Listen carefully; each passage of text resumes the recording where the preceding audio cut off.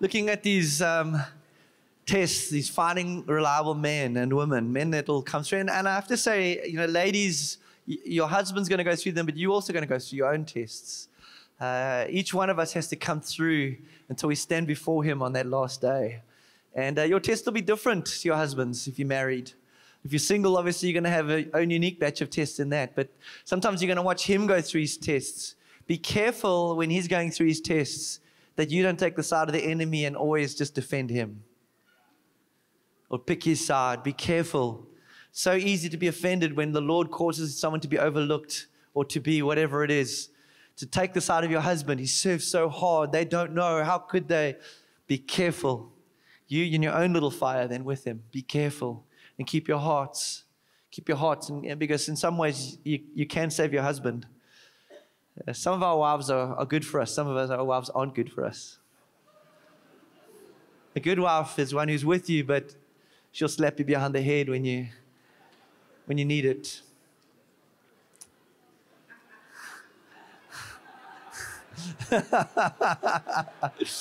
All right. All right. And so diving into the test, and I, some of them overlap, but I do want to mention them as headlines. But obviously, the, the, the time or the lack of promotion test. How long, oh Lord? How long? How long? How long? How long, Lord? I feel like my life's slipping away. How long till I walk in the promises? And you've got men like Abraham who gets a promise and has to wait so many years until it looks like it's beyond hope. His wife is the Bible speaks literally about her, her woman parts are just, they've, they've dried up. And he's so old. How long, oh God? And God is patient with us. Remember, we're more important than what we do. And so he's not scared to keep us and keep us and keep us. Part of the journey of the Spirit for each of us is, I call it the, the shelf test. God does all this work, he shapes and molds, and then he just sticks you on the shelf and he leaves you and you're watching everyone else getting made and put in the kiln and you know looking beautiful when they come out and you're like hello jesus i'm on the shelf i feel like i've got my shape but i've just there's no shine there's no and it's part of the journey and um, i love the bible because it's so full of the fathers of our faith who had to learn the lessons that we as children of the faith also need to learn and one of those uh, is, a, is a man called joseph and his story is beautiful because he gets this promise, this dream, and what's going to happen. His brothers are going to bow down, and his dreams of glory. And then the journey starts. And it just, normally when God, I, I need to get to this, when it's very clear what God's going to do, when prophetically you know, like you know, be afraid. Because normally God makes it very clear because He knows it's going to be very hard to keep you to get through there. When it's kind of vague and you're not sure what it is exactly, Oh, thank you, Jesus. Because that means it's probably the, the journey will be a bit easier. But um, Joseph knows what he's called to, and then he, he, he, everything he tries to do to make it happen, it backfires. He, I mean, he goes literally from his brothers turn on him, the, the pit, slavery, slavery, and he's doing the right thing all the time, and it backfires. Instead of the breakthrough, it, it breaks out against him, and he ends up in jail, forgotten, and I'm talking years of his life. And I love what the Bible says in Psalm 105, verse 19 in the New King James. It says this Until the time that his word came to pass for Joseph, the word of the Lord tested him. Until the time it came to pass, the word of the Lord tested him. And so the, the promise of God itself will test you. The things that God has spoken of your life will test you. And you need to hold the line. And when you're sitting in a prison somewhere and thinking, why am I here when I've only done what's right? It's the Lord who put you in that prison. It's the Lord who's working in you to test you, to keep you in the furnace. So don't be hasty. We're told to not be hasty in the laying on of hands. Don't be hasty to bring people through. Because if they're not ready for it, they'll fail the test. God is patient with us, and that's His kindness to us. It doesn't feel like it when you've forgotten, but it is His kindness to you because He loves you too much to destroy you. So He's doing everything from His side to try and secure you in a secure place. The submission test. Submission's a hard thing for Uh, but it's something we're all called to um, listening and yielding to somebody else. Um, none of us likes it. But Paul writes in 2 Corinthians 2, verse 9 For to this end I also wrote, Paul says to the church, that I might put you to the test, whether you are obedient in all things. The apostolic here, Paul, is putting a church to the test. This is what I want you to do, and it's a test. Are you going to do the things I've asked you to do? Are you going to be faithful in it? And we're told in Ephesians 5:10 to submit ourselves one to another out of reverence for Christ. Our heart attitude should easily yield. We should be easily. We're sheep, man. We're not goats. Sheep follow, goats butt. And I mean, that word is obviously meaning everything that it says. But, but why? Goats go their own way, and that's never a good thing in the house of God. Um, and so uh, we sheep. Um, we easily led, we, we submit and yield easily. And so even within the teams, you know, you, you've got to come to a point where you are, you, you submit easily, you easily led. In 2 Timothy 4, verse 14, Paul mentions a man called Alexander who strongly opposed our message. In every church, in every leadership team, there'll be a time when someone will strongly oppose the message or the things that are being done. And the Bible warns especially about these things happen in the end times. 2 Timothy 3, people be, you know, lovers themselves, lovers of money, boastful, proud, disobedient, so you've got this language of an end times generation that doesn't like to be told what to do. It wants to do its own way. It wants to, and sometimes we just do because that's what the leaders ask us to do. And I, I remember posturing myself like that as a, as a younger leader and just saying, if you ask for it, I'll, I'll do it. Um, and the danger is if we don't yield, it's because we don't understand authority. And it's, it's especially so, you know, right now, most of you look up to me because you're not that close to me because familiarity breeds contempt. I have grown in leadership. But in the early days of leadership, when I was, people looked up to me as a early, as a young pastor, and, and they looked up to me, and then they came close. And when they get close, familiarity breeds contempt, even with Jesus. Familiarity bred contempt. And the disciples are more and more starting to rebuke Jesus. At the start, he's like, Oh, Son of God. Halfway in the journey, now you've got this wrong, Jesus and they're rebuking him. And so the danger is on your teams as you come close to your leaders, as you come onto eldership, at some point you're going to face the test of your own heart. Why are you right and I'm not? Why do you think you can always, what about my perspective? And this is the submission test, and you have to go through it. Don't be one who strongly opposes. Watch your heart. And in Jude 11, we read uh, something, a story of about a man called Korah. And this happened then, and it, it's written in the New Testament to warn us that it'll happen to us too. Could you put up Jude 11? It says, uh, probably looking at 111, it's just Jude 11. It says, uh, it talks about people in the church that will rise up, even teachers, and they, he says, have been destroyed by Korah's rebellion. The woe to them, they've taken the way of Cain. This is leaders in the church that are now emerging, and Jude's writing to the church. Woe to these leaders. They've taken the way of Cain. And what did Cain do? He rose up in jealousy against his brother and he killed him. And remember, Jesus said, what you, with your mouth, you can kill your brother. So on an eldership team, you'll find somebody rising up with that Cain type spirit and go and, and murder the leadership team. You speak against them, you slander them. They have rushed for profit into Balaam's error. They have been destroyed in Korah's rebellion. And so now he's talking about leaders in the church that have been destroyed by the same rebellion that Korah did. And Korah, if you go in the Old Testament, was a leader in Israel. In Israel, he's part of Moses' team, and he's a leading man, a leading figure in the community of faith. And at one point, Korah leads a rebellion against Moses, and we read about it in Numbers 16, verse 3. And now remember, this is brought into the New Testament as a warning to us. So we should expect this, and we must watch for this in our own lives. He says, This is what happened in Korah's rebellion. Korah starts to rally people against Moses, and he gets 250 of the leading men of Israel. It's like he's got a big chunk of the eldership team on his side. These are the leading men of Israel. Korah somehow influenced them. And they come and they came as a group. So it's, and this is how it normally happens in the church. We all are worried. We all are, it comes as a group to oppose Moses and Aaron. And they said to them, You've gone too far. This is them speaking to Moses and Aaron. You've gone too far. The whole community is holy. We can all hear God.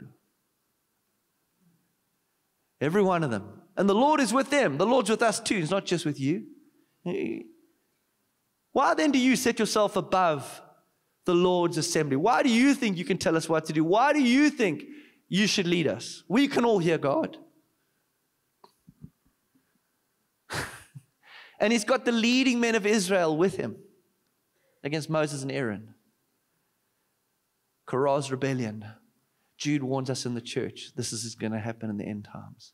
Men will rise up with that same spirit and say to the leaders, Who do you think you are? How can you tell us what to do?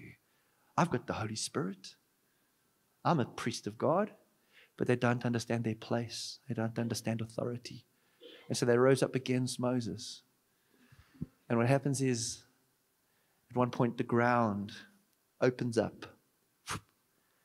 And them and their families, their children, are swallowed live into hell.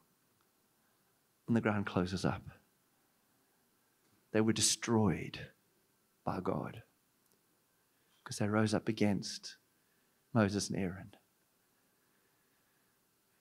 We don't understand the holy. We don't understand. And again, I, I, there's been these things can be abused, and they have been abused. Men have stood up and made themselves more and over, and that posture's as dangerous of hellfire as Korah's is. Both have to work out their salvation with fear and trembling. But depending on where you are in this thing, you have to pass your test. And I marvel at young David, who's a man after God's own heart.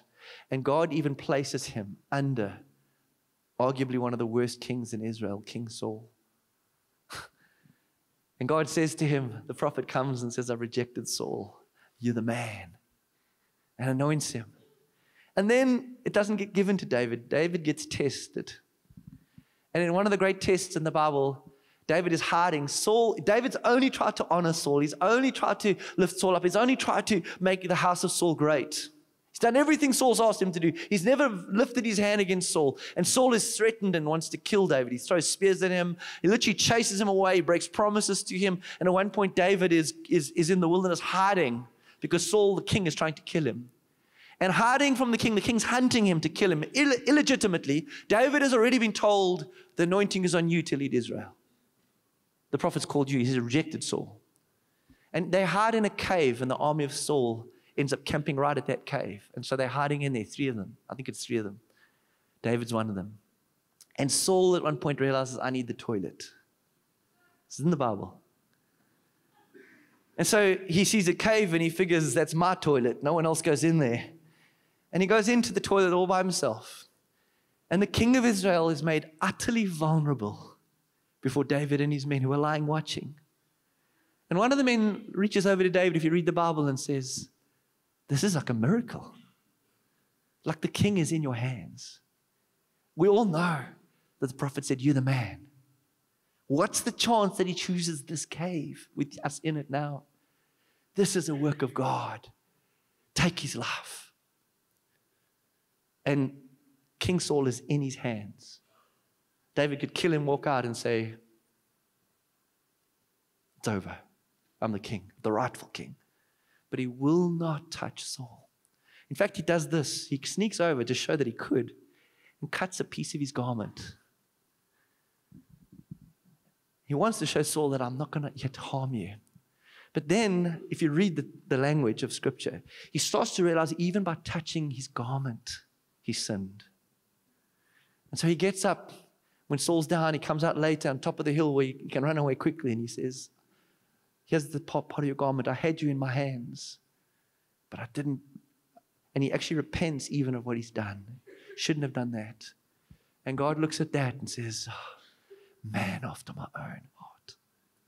And God eventually orchestrates the death of King Saul. And God brings David through. But David could have grasped, could have grabbed, could have tried to make it happen. If you try and make ministry happen, believe me, God will fight against you. If you try and save your life, you will lose it. But if you lose your life for His sake, you'll find it. Faith is what he's looking for. Pass your tests The submission test, the ambition test, and I've mentioned that.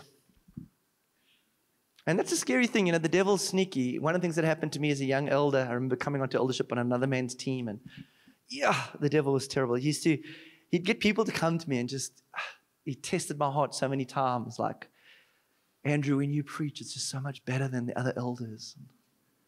You're such a better pastor than they are. And it was the devil just trying to puff me up. And, he, and I did get puffed up to somewhat. I did think, yeah, I'm it.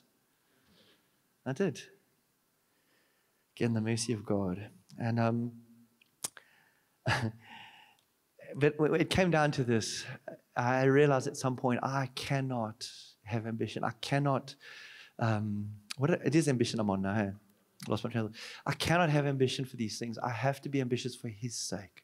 They gave themselves, and so I became more and more ambitious to actually serve uh, the leader that I was under. I, will tell you a story on that quickly. Coming back to David. Um, I'm not going to tell you that story now. I don't have time. Let's jump to the family test. Pass your test. The family test. Man, let me just tell you this mom and dad get married, or you get married and you're like, yes, God, and then kids, Lord, please give us kids, and God gives you kids, those kids will test you.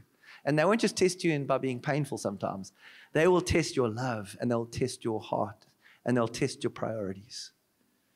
In Matthew 10, verse 37 and 38, Jesus said this Anyone who loves his father or mother more than me is not worthy of me. Anyone who loves his son or daughter more than me is not worthy of me. And anyone who does not take up his cross and follow me is not worthy of me. If your wife, in another scripture, actually uses adds your wife to that. One of the other disciples adds the wife to that. It's not in this one. But if you love your children more than him, your family more than him, you're not worthy to serve him. Now, there's a again, every truth has got to be balanced. We can't abuse our families. Um, we can't neglect our wives and our kids. We need to be good carers of them and, and, and, love them. But at the same time, our priority is the king and the kingdom. And in one of the stories in the book of Acts, there's a young man called John Mark. And John Mark, we read um, in Acts 13 13, we read that he actually left Paul and the ministry because he was missing home. And, and Paul believed, Paul believed that what he had done had disqualified him from ministry. And so, actually, Paul then said, when he wanted to join them later, Paul said he can't join us because he's not fit to serve the king, because he loves his family more than he loves the kingdom of God. And Barnabas, who seems to have more of a mercy gift, starts to argue with Paul because he thinks, no, Jesus is you know, gracious and come on. And, and, and Paul's like, he's unfit. And if you read the Bible in the book of Acts, it actually goes on to say they tear, they actually see an apostolic movement tearing at that point. And Barnabas went with John Mark off into, I think it was, I forget where it was, one of the islands, one of the Greek islands. And the Bible says, but Paul, um, what is the language used? Paul, I've forgotten, I think Paul picked, takes Silas with him. And Paul commended, this it says, Paul commended by the brothers. Barnabas is not commended. Paul is commended by the brothers. And the fact that Luke tells us Paul got the commendation of the brothers means the church believed Paul was right and Barnabas, John Mark were wrong. And we never hear from Barnabas again. He picked the wrong side. And years later, John Mark has been redeemed.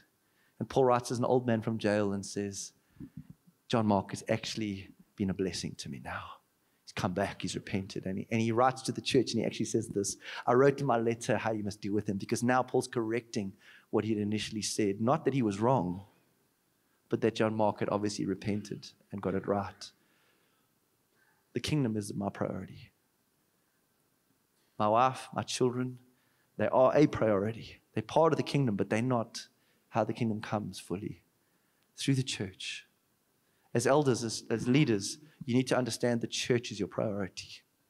You've been asked as a slave to serve it, you've been asked to lay down your life for it. Servant of the Lord Jesus Christ.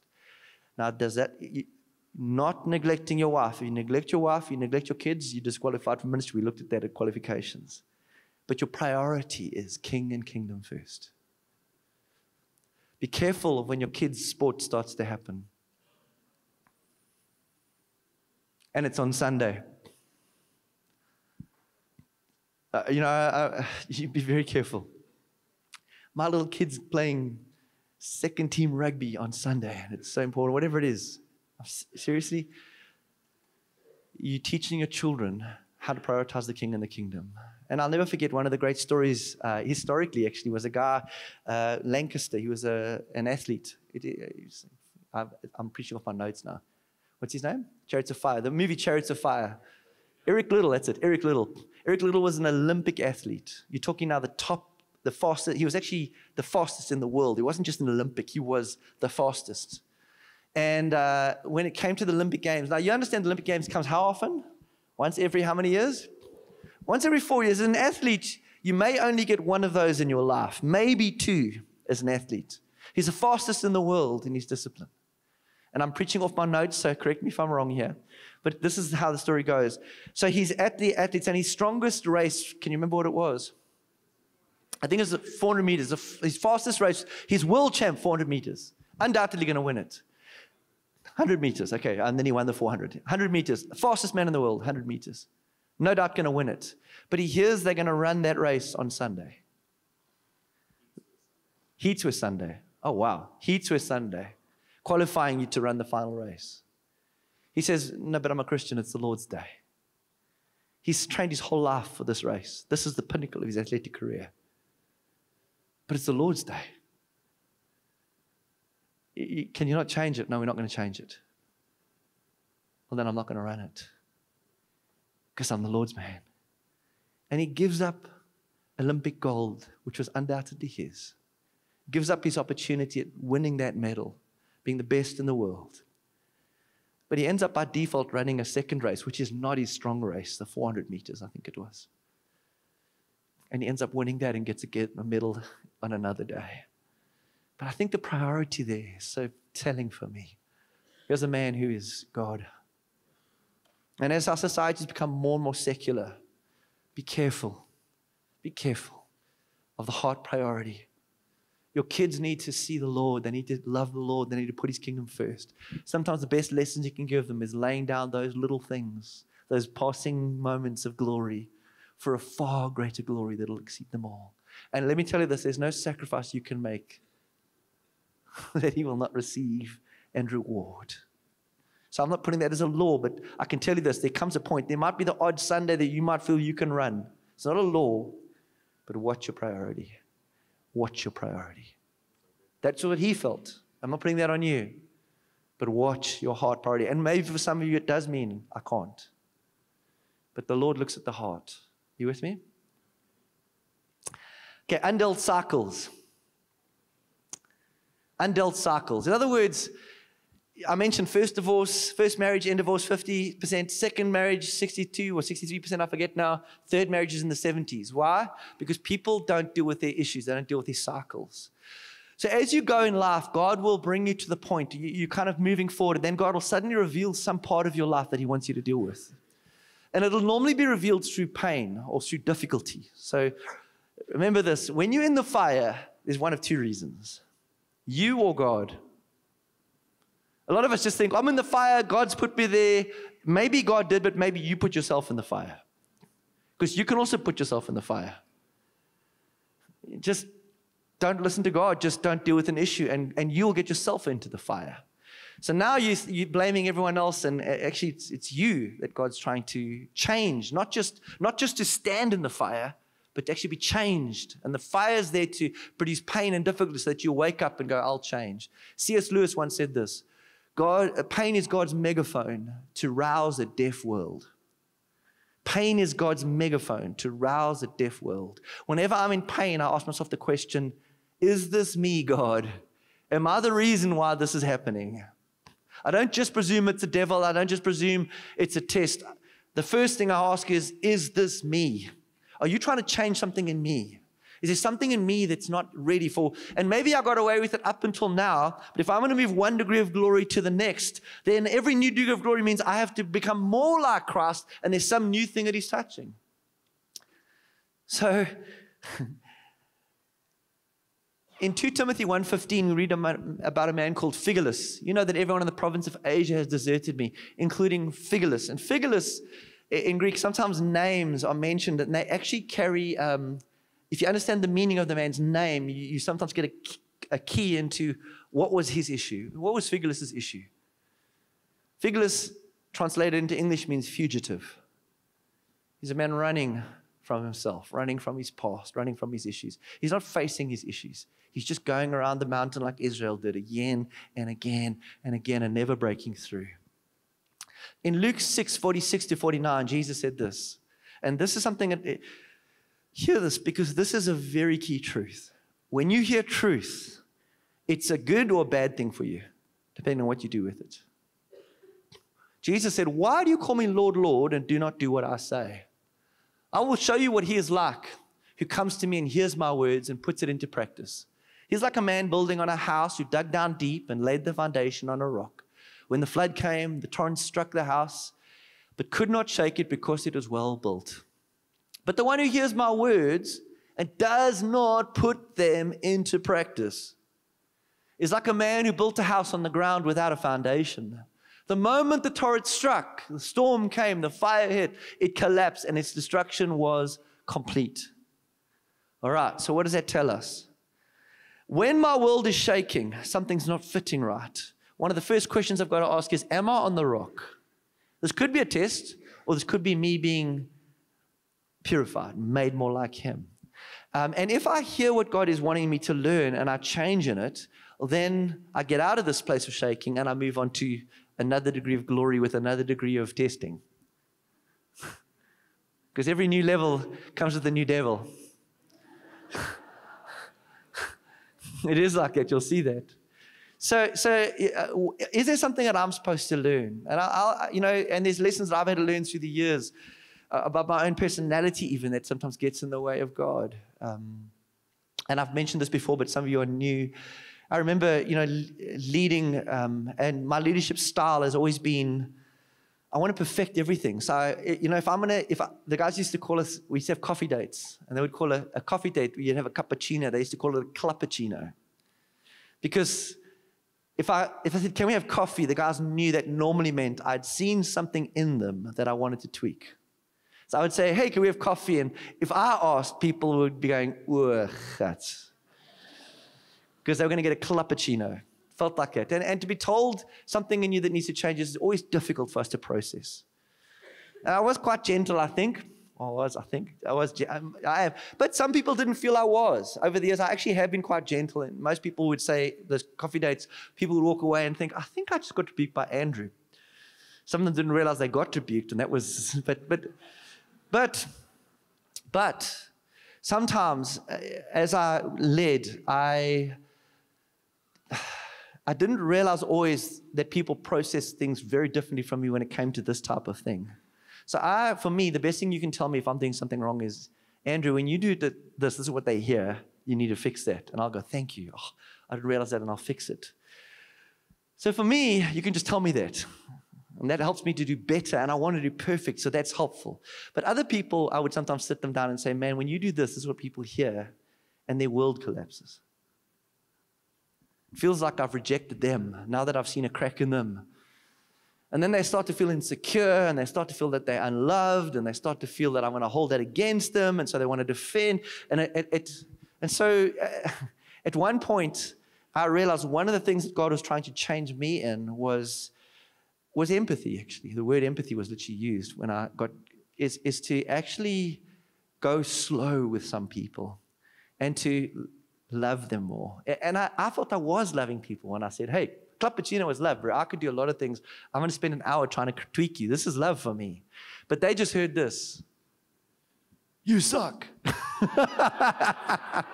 that wasn't what I was saying, but that's what they were hearing.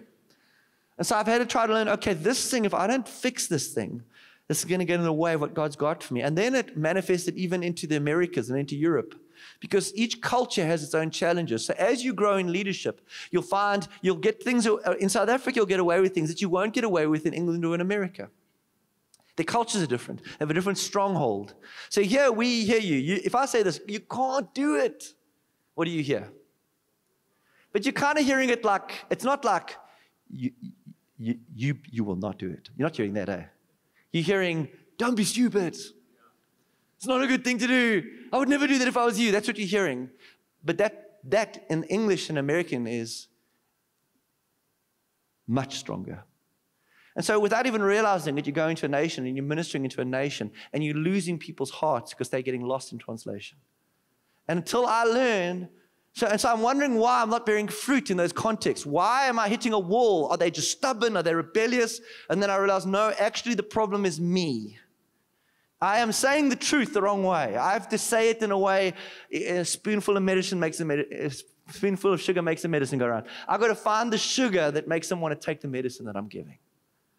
And so I have to learn, I have to tweak, I have to change. And if I don't change, Four12 will stop its growth into the nations because I'm getting in the way of what God wants to do.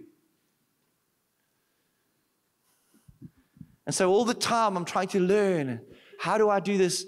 How do I do this better? How do I how do I fix this? And so I will deal with my cycles. I don't want to just say, well, and this is what you end up doing. I'm the prophet and they're just rebellious Israel. I'm the what? And you find all these people with these weird spiritual reasons why they're right and everyone else is wrong. Actually, at the end of the day, I just did that badly. I wasn't building well in that context. And I need to learn how to build better there. These are the things that we need to learn to deal with. Both sin issues, if you're not dealing with sin in your life, you're going to get stuck. Pornography will keep you for the rest of your life if you don't break it. Short temper will keep you for the rest of your life if you don't break it. I could go through each and every one of these sins, deal with things, and move forward. All right, I want to touch, I'll, I'll bring us to land soon. Idolatry test. I mentioned 2 Timothy 2.17, Hymenaeus and, and Philetus. Hymenaeus, his name means son of Hermes, born of Hermes. Here's a man who probably has an issue with an idol, something in his life that he loves more than Jesus. And there's a lot of things that can vie for your attention. You know, sport at one time vied for my attention. I never forget as a young surfer, I, my whole identity was surfing when I got saved. And then I get saved, and the Lord one day says to me in worship, You love surfing more than me, lay it down. Like for a day? no lay it down. And I remember feeling so naked. I felt like he took everything that my, my whole life was that. Everything. That's what I did. Take it away. I mean, I was competitive. I was, I was one of the top surfers in the world at that time in my discipline. You're going to take that away from me, Jesus. And I'll never forget this test. And I, to be honest, I just, I just ignored him at first. I was like, I don't, this is too much. You're asking me too much. I know you love me, and I'm just going to. But I remember sitting at the back, and this started happening to me. I remember sitting at the back there one day, and I suddenly thought, yeah, there's sharks here. I wonder what will happen to me if a shark charges me while I'm living in rebellion to God. And suddenly I started like, ooh, gat. I don't know if I, I want to die like that. And then Steve Cross, who's actually at Josh Jenner today, has gets God tells him he's here. Steve, Steve, Steve at that same time comes and he says, we, we are a bunch of young surfers. Steve says, we're all like, God's telling us to lay down surfing. And Steve's like, God tells him that, but he doesn't. He doesn't do it either. And a prophet comes to the church. A prophet comes to the church, international, and calls him out in the meeting that I'm in and says, You're going to stare the jaws of death in the face twice but you will survive. And to be honest, I didn't actually think shock when that guy said that. I just figured, I just figured, whoa, that, that's not a cool prophecy. But it wasn't long after that that Steve was surfing. And a great white shark, I think it was a five meter great white, if I remember right, comes at him. He's sitting on his board. It comes at him. He sees it. He says, looks like it's a huge ray coming towards him. The next thing is coming up at him. He puts his hand in to try and, and it bites onto his arm. His arm is in the thing's mouth. Now he's up in the air. My other friends are watching this. He's punching the shark with his one arm and the other arm stuck in its mouth. I kid you not. Thrashes underwater. One of my, everyone bells on the beach, good Christian friends, except for one guy Carl Walton, who's still in PE.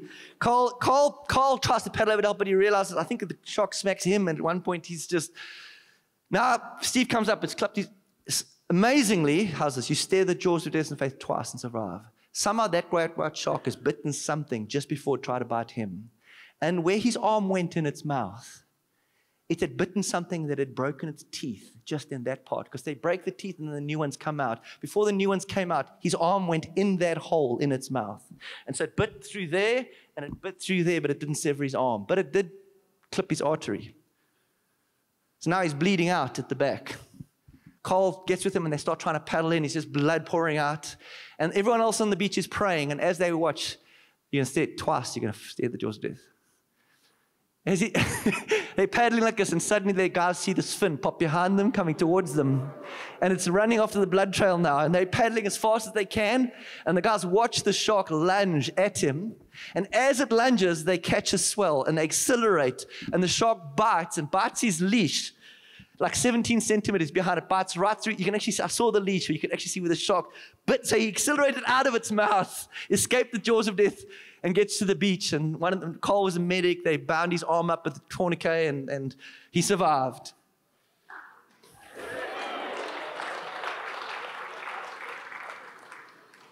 and I'm living, and I'm living in rebellion to God and surfing. and I'll never forget the one day I was sitting at the back, and I'm like, oh, flip. And I remember actually thinking it was so uncomfortable sitting there, I actually stopped enjoying surfing. I just thought I'm going to die at any second now, and I did not look way to die. And I stopped surfing, and eventually for six months, I laid it down. And I realized my whole identity started to change. I became a Christian, not a surfer. And I remember the one day in worship, worshiping the Lord. I understand my whole life, my, everything was surfing. I'm worshiping the Lord in worship. And now I'm just, it's gone. I've, I'll never surf again. And the Lord says to me in the worship at the end of this meeting, Go get your board. I've dealt with it as an idol. It's now a sport. But watch, watch that it doesn't become more. And I learn to deal with my idols. Otherwise, I'd be living in Indonesia on a yacht. so where some of my friends went. Even ministry can be an idol, guys. Abraham gets given a promise. Your son nations. And God comes and says, You know that, that promise that I made you? I want you to kill it. This is a test that God will put you through. Will you lay the knife into your ministry? Will you kill it, expecting it to, you know?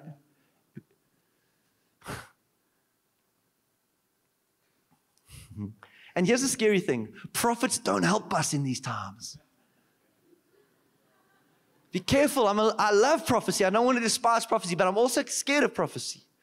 Because the Bible tells me that sometimes prophets can, can say things in, with a well meaning heart that actually damages me and actually sets me up wrong. And I need to say this because while we love prophecy, I will never, ever follow prophecy. Because every time I did it backfired. I'll follow Jesus and I'll fall into the promises of God in prophecy. But in Deuteronomy 13, verse 3, Listen to this. You shall not listen to the words of that prophet or that dreamer or dreams of dreams. For the Lord your God is testing you to know whether you love the Lord your God with all your heart and with all your soul. So now God says sometimes the prophet's going to come and he's going to use prophecy to test you. He's going to use prophecy to test are you really dead? And another scripture is Ezekiel 14, 3 to 4. Do you have that one? Son of man, these men have set up idols in their hearts. Whew and put wicked stumbling blocks before their faces. Should I let them inquire of me at all? In other words, if you come to the Lord and you've got an idol, and this is the danger, you think of a lady that desperately wants children, be careful it doesn't become an idol. God, I want this. Everything is just give me a child, give me a child. My whole identity is now being tied up with this promise, this child, whatever it is, or this, prom- this ministry promise. Give me this promise, God. Every time you're there, you're wrestling with Him. It's an idol. Therefore, speak to them and tell them, this is what the sovereign Lord says. When any Israelite sets up idols in his heart and puts a wicked stumbling block before his face and then goes to the prophet, I, the Lord, will answer him in keeping with his great idolatry. I'll tell him what his itchy ears want to hear. I'll use it to test him. So when you come and the prophet calls you out, be careful of if you got something in your heart, because the Lord will cause him to prophesy into the idol of your heart. And I've seen that happen a lot. I've been through that. I don't follow prophecy. Prophecy can confirm, but even when it comes, I want to weigh it carefully, Lord. This is something that I really want, Lord. Because if it is, I'm scared to. You need to be very clear. You with me? Don't despise prophecy. It's a beautiful gift. But deal with your heart. I need to land this. Let me land with this. Um, unreal expectations. As you come into team, as you, you come into any area of life, you have a, a set of expectations, what that would look like, what does that mean, how will it work? And the danger is unreal expectations becomes a test to you because a disillusionment, which is the result of unmet expectations, starts with an illusion, a wrong understanding. So often you'll have an idea of how you think it'll be. I'm coming onto the team and I'm going to get close to Mark and he's going to disciple me and he's going to train me personally. I'm going to be like a Timothy with a Paul and, and TMT and, and this is how it's going to work. And I can see, and, and what you do is you actually have an expectation now of how you think it must work. And so you, you, you get that moment, you do your TMT and now, but it's not like you thought it would be. And so you actually were birthing this thing in an illusion. And so you end up in disillusionment. Remember this you don't know how it should work out. You don't know how the Lord's going to move the king's heart. You don't know whether the Lord's put you in the wilderness to be tested. In fact, you don't know. You don't know if God's even turned your brothers to turn against you and say horrible things like he did with Joseph and his brothers. You don't know. You just have to keep yourself in him and pass your tests. In Proverbs 13 12, this is my last, we, we're landing on this last one. Hope deferred makes the heart sick. So if you have a hope in your heart, you have a, dream, you think this is what it should look like, and you hold on that too long, it eventually makes your heart grow sick. So I mean, why have they not recognized? Why have they not? You've got an unreal expectation. And your expectation could be of God, of the team leader, you'll feel let down by him, of the team, they're all against me. You'll feel that at times feel like everyone is against you. And sometimes everyone is against you because of you.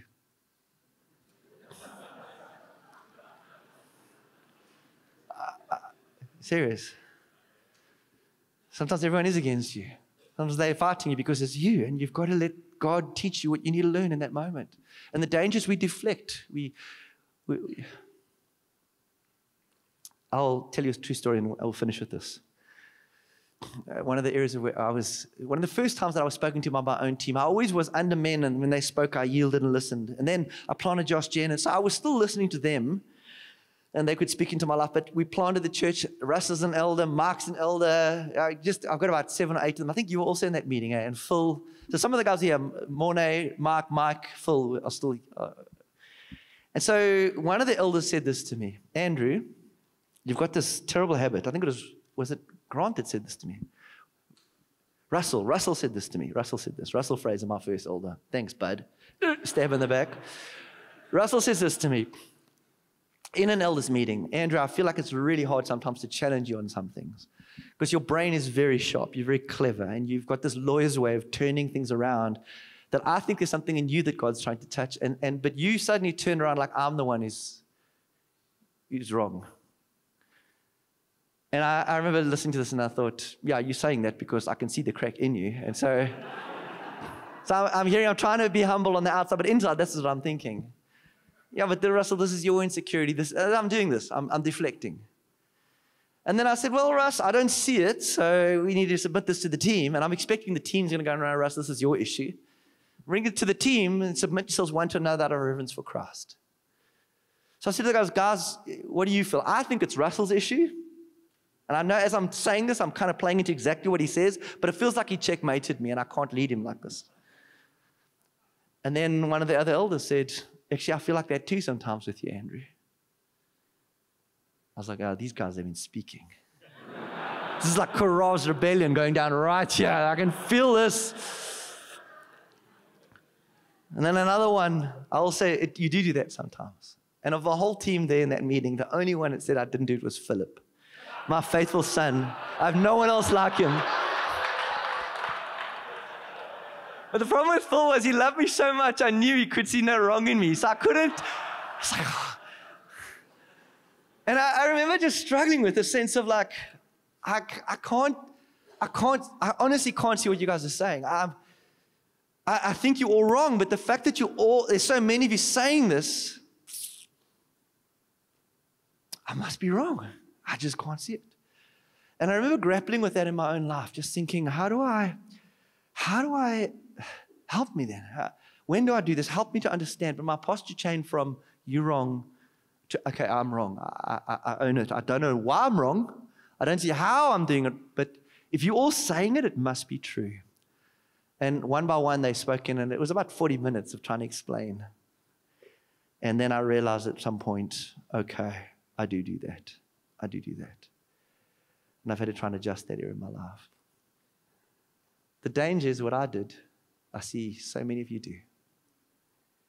That when someone addresses something in you, you dodge and you justify and you find reasons why they're wrong and you're right. And you can't always lean on your wife because sometimes you're the knight in shining armor or your husband because when the team speaks like that, posture your heart right and realize if there's three or four brothers who love Jesus, who are mature in the faith, saying the same thing, the chances are you've got something in you that God's trying to deal and process.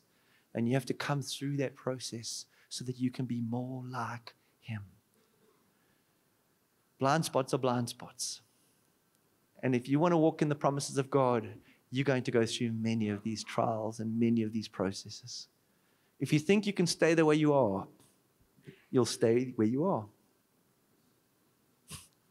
That was quite profound, actually. I've never said that before. It's like one of those like it's like a Willism coming from Andrew. I must remember that one. What did I say now?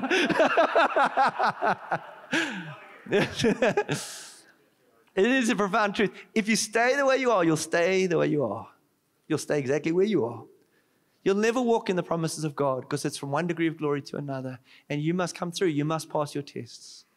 And I really, you know, here's the thing we need you to come through. We need more elders. We need more leaders. We need more, we need more leaders all over the world. But you must pass your tests. We can't give you what God has not given you. And so, whatever tests and the things that you're going through, pass your tests. And realize the rest of your life, you'll face these. You're never going to go, you can finally say, oh, I'm over the finish line when you die. But for now, we run our race we beat our bodies into submission to win the prize that Christ has called us to, so that we can all hear Him well say, Well done, good and faithful servant. And so I really want to encourage you don't grow weary, don't lose faith. You still got oxygen. Be faithful and trust the Lord. Trust the Lord. He is able to do immeasurably more than you can dream of or imagine. He's able to bring you through into all the promises that He's made of your life. And if you reach Him with something that He hasn't promised you, you don't want to walk in that because that'll kill you then because you won't have grace for the task. He's a good Father, faithful friend, and He'll bring you through. But you must remain in Him, and He'll remain in you, and you will bear much fruit to the Father's glory. We need our teams to come through. We don't need wolves, they do damage. We don't need people to fail. We don't need you to fail. I believe Jesus would be reaching out to each of us in our times. And the Bible says he lives to intercede for us before the throne room of God, which means even as you're in your test, the Lord Jesus is praying for you. Father, bring them through. Father, send your angels. Don't let them fall. But you must pass the test. You must come through. And realize when you're in the test, and I'm finished. When you are taught at a school, your teacher's close with you and you're like struggling and they're explaining how maths works and it's, it's all like great and that, you know, I'm a little bit stuck and they'll come and explain it to you. And it's like, oh, it's awesome. But when you come to a time of testing where the Lord wants to know if you've learned the lesson, the teacher's not there helping you. The teacher pulls away from you and you're left all on your own looking at this paper that makes no sense. And that's what it feels like when you're in the test. The Lord Jesus is not close. There's not a sense of peace and joy and the Lord's close. You feel like you're all on your own. Your perspectives are shouting, your mind spinning. Pass the test. Pass the test. Because God's got greater things for you to walk in. Father, we see our big brother Jesus, who came through and persevered and, Father, won the prize, won that which you called him to. He said at the end, It is finished, for he had run his race, Lord. And I pray for us, Lord, that when we come to the end, that we also will say, It is finished. We've run our race. We've won. We've done that which you've asked us to do. Father, I pray for each one here that you'd bring them through and those watching, bring them through into their great destiny in Christ Jesus. Thank you that as your sons and daughters, you've got them in your hands, God. They're not on their own, that you are faithful to finish the work you started. Give them faith to hold the line and to come through.